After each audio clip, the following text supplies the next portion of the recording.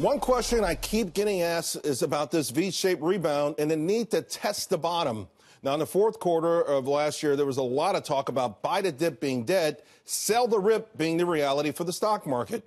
While its true rallies were sold hard during that period, the longer term uptrend that began with that first big dip after the March 2009 low is still intact. Remember, so many mavens back there said that the major indices had to retest those March 2009 lows. It never happened.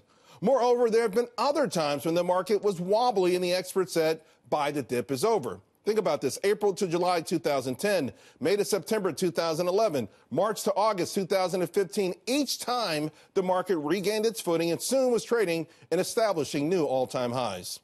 Now, this is important to consider as volatility has obviously picked up, and there's so many different forces driving the market every single day. Long term investors, you should make adjustments, obviously, but more than likely they should be based on fundamentals, whereas those who want to be nimble, you should look at nuance. Yesterday, for instance, the market was hit with all kinds of negative news and speculation, by the way. And even though the Dow closed down 300 points, I think it was a positive session because that 50 day moving average, it held throughout the day. In fact, there was a small spike of buying into the close. Someone bought aggressively, and I bet they were smart, connected investors that understand that soon the pendulum of fear could swing back to buying dips and chasing the rip. Hey, I want to bring in Jack Ablin, co-founder of Cresset Wealth Advisors. Jack, you've been around for a while. You know exactly what I'm talking about. Uh, and hindsight is always 2020, so we try to share it with the audience here. How do you grapple with both of these things? Where longer term, there's some names you probably love, want to hold on for a long time, but short term, some the volatility gets to everyone.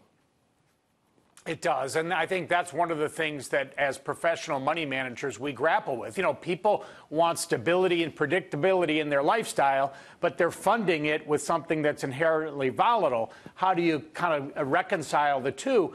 And you're absolutely right. You got to take longer term cash flow needs and pair them up with longer term assets. You got to have shorter term uh, assets funding shorter term cash flow needs. So then that way, whenever you own a portfolio of equities, you're in a position to hold them for at least seven years. That's amazing. I'm glad you said that. In the meantime, though, a stock like a, a Netflix, for instance, up 50% in three weeks, it gets smacked down 10%. You know, will it be around in seven years? Maybe it will be. I think the betting is sure, but they'll definitely have a lot more competition. And, and, and conversely, we saw a company like Microsoft that looked like it was flat out dead for a number of years. And then all of a sudden, it was the most valuable company in America.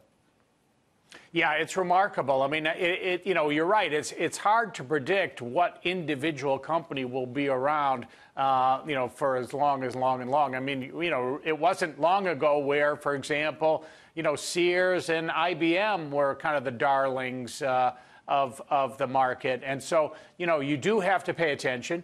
Uh, you can't just simply, you know, put your stock positions in a drawer and forget about it. Uh, but on the other hand, it does require a long-term focus, and that's why some of this near-term volatility is a, is an opportunity to get in for the longer term. Buying the dip. okay. It doesn't go away. By the way, isn't the oldest Wall Street axiom one of them uh, buy low, sell high? It's a lot easier said I than think, done. Yeah, absolutely is. But, you know, certainly, uh, you know, when you've got uh, big bear markets or at least big downturns, uh, certainly much easier to be right over the long term. And the other thing is time is your friend. Uh, one of the, you know, one of the things, you know, I can't tell you what, you know, Apple stock or Netflix is going to do over the next month or so. But if you take a portfolio of, say, the S&P 100 or the NASDAQ 100 and put them together and hold them for seven years, statistically speaking, you have virtually a 100% chance of making money. Even if you bought the day before the financial crisis, you held for seven years, you'd be in decent shape. Right now, nearer term, uh, some of these headwinds that we have, it feels like some could be resolved. I mean, we know they all can be.